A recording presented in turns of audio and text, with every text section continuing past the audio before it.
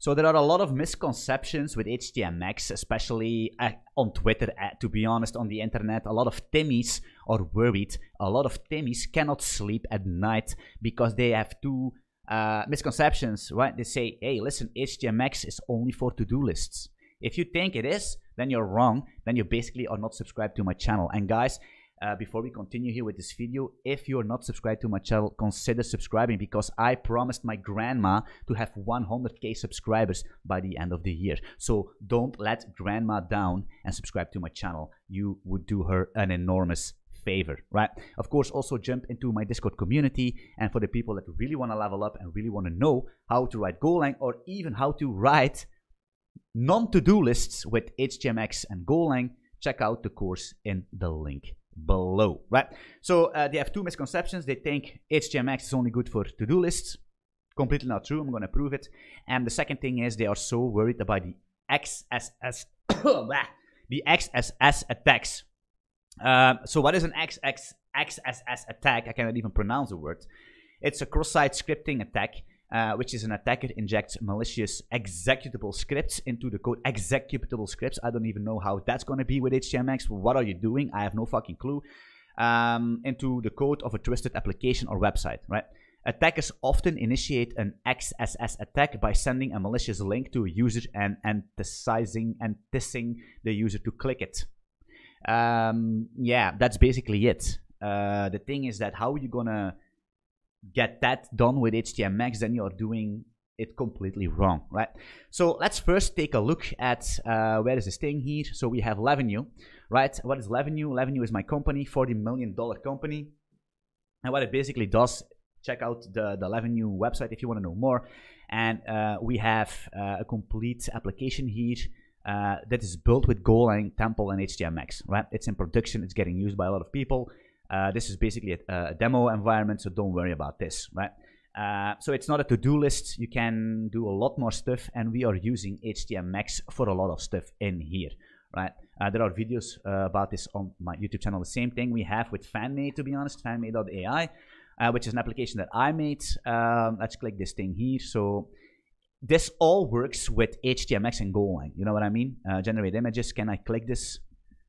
maybe we can. So you can do all that stuff. Uh, it's all with HTMX and Golang. Is it a do up? No, it isn't. You probably cannot create this with React because you're still a Timmy. Um, anyway, so that's out of the way.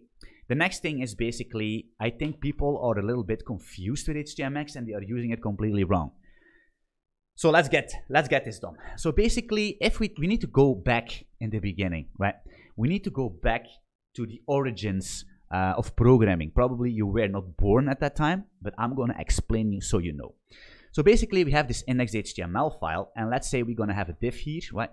Uh, we're going to make an ID, and this is going to be, for example, uh, I'm going to do pseudocode, right? Very important for the people on Reddit, very important for the other Timmies that are going to comment that the code is wrong. This is going to be pseudocode, and there could be some syntactical problems here, but that's not the point, right? The point is the the high level of this, the high level concept of this. So we're gonna have a, a user list in our div, right? Something like that, okay? So um, let's make a button, right? Because we're gonna click a button and it's going to load user information. Uh, actually, to be honest, user details. Let's make user details here. User details, or actually, yeah, it's fine. Now we're gonna make a button here. Uh, we're going to give this button an ID of uh, btn, right? btn, just like that. So now we need to have some JavaScript. Back in the day, if you want to click this button and you want to load information from your backend into this user detail div, we need to have some JavaScript. So back in the day, we have we had the script tag or something like that, or jQuery, whatever, uh, or or maybe you have another file. There are a lot of ways to do that, and you need to do something like this, right? You do something like this is pseudocode. It's going to be wrong, right? But it doesn't really matter. I'm just going to guess it. So we're going to say btn. I think it's click, uh, click thingy. We're going to make this callback in here. Boom, boom, boom, just like that, right? If we click this thing, then we're going to say, uh, then we're going to say, I think it's going to be something like this, jQuery, wait, jQuery get, right, slash user one, for example. Then, I don't know how this works, something like this. Back in the day, await didn't didn't existed, guys, right? I, await Nobody knows what it is because it was not invented yet. uh, just like that. Get, and then we're gonna do, wait, this is gonna be the usage data, right? Data or something, I don't know. And then we're gonna say uh, jQuery, and we're gonna get this uh, user detail, uh, details thingy, dot HTML, I think it is, or in it, actually, is it HTML or inner HTML? Not quite sure. Uh, and then we're gonna do something with data, right? This is not going to do exactly what we need, but the pseudocode of that is going to be something like that, right? Click the button, do an, do an uh, get call, uh, and, and with the data we receive, we're going to put that into our HTML div tag, which is this thing. Something like that, right? Of course, you need to do something more here, but it doesn't really matter, right? You get the point, you know what I mean? And if you don't get it, it's time to go back to the McDonald's job, right? That's how it works back in the day. The same thing goes for now. If you have React or something, you need to have React installed and you need to have all these node modules and all that stuff. The main, the main thing is you're going to have two files, right? You're going to have your HTML and you're going to have some JavaScript thing. What does HTMX doing behind the scenes is exactly this, right? It makes sure that we don't need the script shenanigans. So, how does it work with HTMX? Very simple we're going to have this button, right? And we're going to have an hx get. In this case, we're going to say slash user. Wait, I'm doing it completely wrong. It's going to be hx get, something like that, slash user1, right? And then we're going to say hx target, right? We're going to say, yo, what, where do we want to swap? Which div target ID, whatever, needs to be filled with the response. And that's going to be, of course, the user details right here. And then we're going to say, how do we want to swap it? Uh, hx star Wait, HX targets. Uh, yeah, that's that. It's going to be HX swap, if I remember correctly. And that's going to be an inner HTML or another HTML, whatever you want. It doesn't really matter. Right? And this line of code, only this three attributes is going to replace all this bullshit. Which is going to replace the code we needed to, to write. It's going to replace the file we needed to create. It's going to replace all that stuff. Easy peasy, isn't it? So now people are confused. But now you need to sanitize your data on the front end. How do you need to sanitize your data? XSS. This is unsafe. Help me. Why is this unsafe? Timmy, explain to me. Because you're gonna, even if you do a post, right? You could do a post, you could do whatever. You're always going to be sanitizing your data on the backend you never are going to trust user data on your backend, right? This guy here, this application on the front end, can post whatever it wants. Because on your backend, you're going to make sure that the data is going to be posted by a user, that it's untrusted, and you're going to sanitize it. You're going to validate it, you're going to do escape it, whatever you need to do with it, right?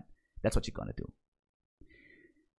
Of course, I can imagine that with HTMX you could do some scripting shenanigans, but we don't. Why would you use that, right? You're not going to use these. Again, why are you guys making things always so complicated? Even the most simple thing in the universe, which is HTMX, you are again are going to overcomplicate it. Why is that, guys? Well, I don't understand. What, which kind of school are you going to? who are you subscribed to? Who is telling you to make everything so complicated? It's easy. There is no way there is going to be an XSS attack if you sanitize your data. Because this is the exact same thing like this. And back in the day, everything works like this. Over years and years and years. And what did, what did we do here? We never trusted code coming from the client. Never. Ever.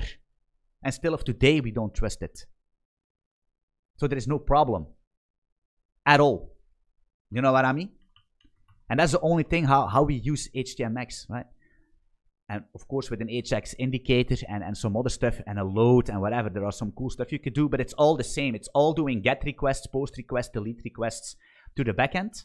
Um, and we need to be responsible and always need to sanitize the data that's coming from a user at all times, right? That's basically it, guys. There is no more. I cannot explain more than this. It's so fucking simple. Um, there is no need to be worried. It's all good. You can sleep on your two ears, guys. Trust me. Um, Yeah, that's it, right? Like I said, you can do a lot of nasty stuff, but that's always. But don't do it, right? Just keep it simple, and and embrace the simplicity. You know what I mean? Embrace the simplicity. You know that's what you need to do because simple things and boring things, if you repeat that for a very long time, success is inevitable. Thanks for watching, and I see you in the next live stream or video. Bye bye.